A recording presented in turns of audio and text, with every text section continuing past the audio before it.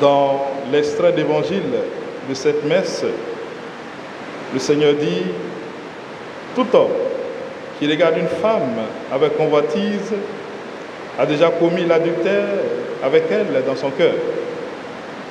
Si ton œil droit entraîne ta chute, arrache-le et jette-le loin de toi, car mieux vaut pour toi perdre un de tes membres que d'avoir ton corps tout entier jeté dans la géhenne. Et si ta main droite entraîne ta chute, coupe-la et jette-la loin de toi, car mieux vaut pour toi perdre un de tes membres que d'avoir ton corps tout entier qui s'en aille dans la géhenne. Autrement dit, évitez l'adultère et le scandale, faites des efforts au quotidien. Saint Matthieu s'adressait à des croyants venus du judaïsme, c'est-à-dire des judo-chrétiens. Et ce message est encore d'actualité. Certains hommes exigent de leurs épouses qu'elles soient fidèles, mais eux n'observent pas cette prescription alors même qu'ils devaient être supérieurs en vertu. Il est déshonorant et même avilissant pour un homme de dire cela m'est impossible, je ne pourrai pas, j'ai tout essayé, c'est comme ça que je suis.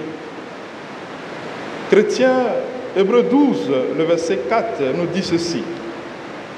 Vous n'avez pas encore résisté jusqu'au sang dans votre lutte contre le péché. Et c'est pourquoi Saint Jacques indiquera que dans l'épreuve de la tentation, que personne ne dise ma tentation vient de Dieu.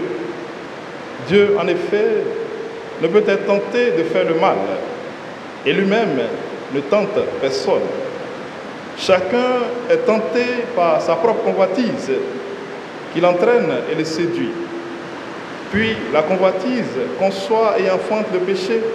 Le péché, arrivé à son terme, engendre la mort. Ne vous y trompez pas, mes frères bien-aimés. En d'autres termes, trois choses concourent à la consommation du péché. La suggestion, la délectation et le consentement. La suggestion vient de la mémoire ou des sens. Si l'on trouve du plaisir dans l'idée de la jouissance, il faut supprimer ce plaisir criminel. Si l'on y consent, le péché est complet. Par le péché, par les débordements du libertinage, vous dégradez l'image de Dieu que vous portez en vous-même. Il ne suffit pas seulement d'éviter le péché, il faut encore s'engager à faire disparaître les occasions et les structures de péché. De même que l'œil est la figure de la contemplation, la main est la figure de l'action. C'est pourquoi Saint Augustin a pu dire, et je cite, L'œil est encore pour nous l'image de nos amis les plus chers. Aussi, ceux qui veulent exprimer vivement leur affection disent-ils, je l'aime comme l'un de mes yeux. Cet ami dont l'œil est la figure est un ami de bon conseil, de même que l'œil s'en sert à nous indiquer le chemin. Fin de citation. Frères et sœurs, pourquoi la droite? Pourquoi l'œil droit et la main droite? Alors que le psalmiste dit ceci, si je marche en pleine détresse, tu me fais revivre. Tu portes la main sur mes adversaires, ta droite me rend vainqueur. Ta main me conduit, ta droite me soutient. Cet œil droit et cette main droite signifient l'affection, la tendresse, l'amour que nous avons pour nos frères, nos sœurs, pour une épouse, un époux, pour des parents, pour des proches.